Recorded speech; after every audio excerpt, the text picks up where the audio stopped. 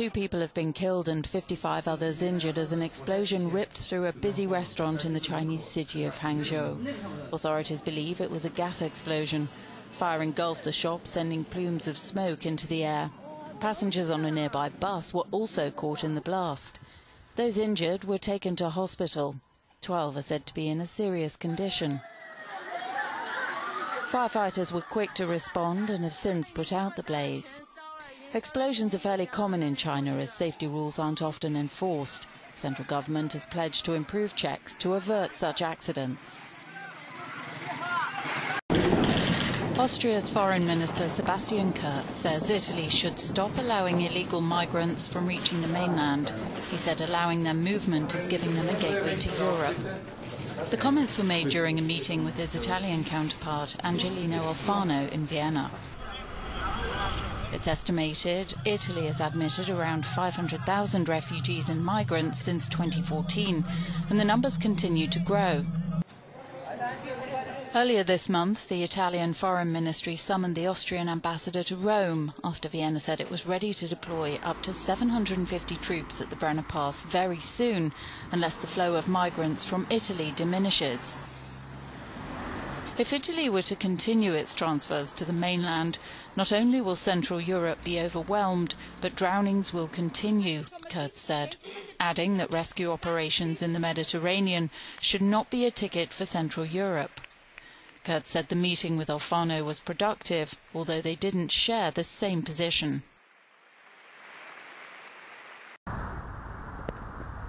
Turkey has reacted angrily to pressure from Germany to release the six human rights activists it's continuing to hold in pre-trial detention, one of them a German national.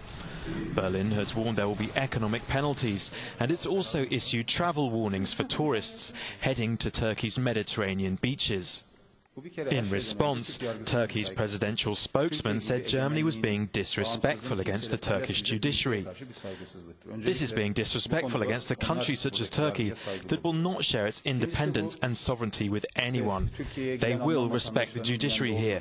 We strongly condemn statements saying German citizens coming to Turkey are not safe. Both countries are NATO allies, which further complicates the downward trend in their relations.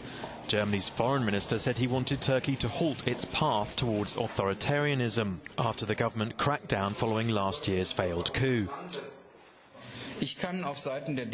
We expect a return to European values, the respect for freedom of opinion and the press. We continue to have a strong interest in good relations with Turkey.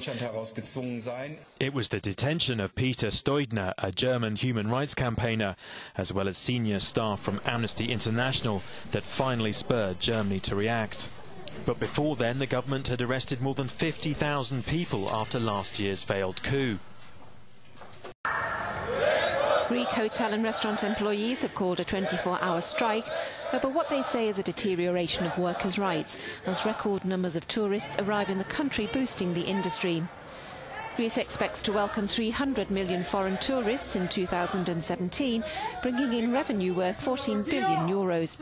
Tourism employs around one-fifth of the country's workforce. The growth of tourism, with 30 million tourists, that we're told is supposed to benefit not only the employers but us and the country, is a big lie. We work very hard and they give us nothing. Our average salary is just 420 euros all over the country, and they tell us that with these salaries we will have better days.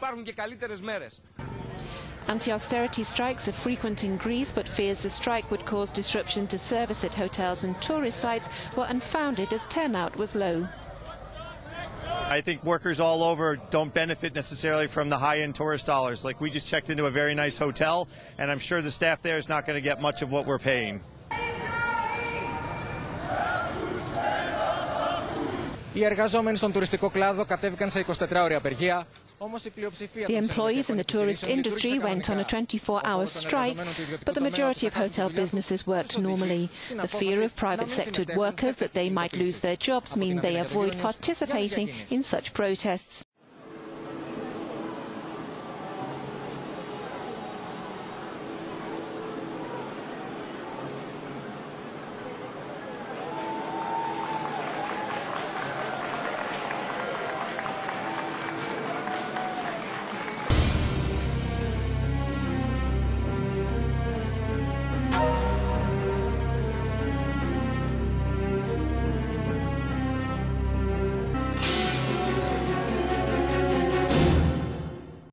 Poland's lower house of parliament has passed a controversial law that gives the government more power over the Supreme Court. It would mean the removal and replacement of all Supreme Court judges. Last week, the ruling Law and Justice Party passed plans for politicians to have the power to appoint judges. The opposition says it will erode the independence of the judiciary and undermine democracy. And although the Conservative Law and Justice Party, or PIS, now needs to take the bill to the upper house, the party has a majority in both houses of parliament. European Council President Donald Tusk, who used to be Poland's Prime Minister, has called the law backward and wants to meet with Poland's President. But ultimately, there's little the EU can do to alter the passage of a law through an EU country. Hi. Recently, thousands of people have held candlelit protests against the planned bill, asking the president to veto the legislation and arguing that the government could destroy judicial independence and appoint only judges who support the ruling party.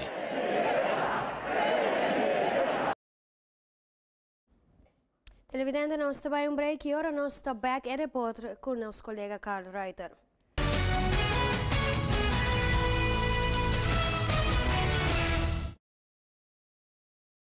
É programa com mais de uma década de informação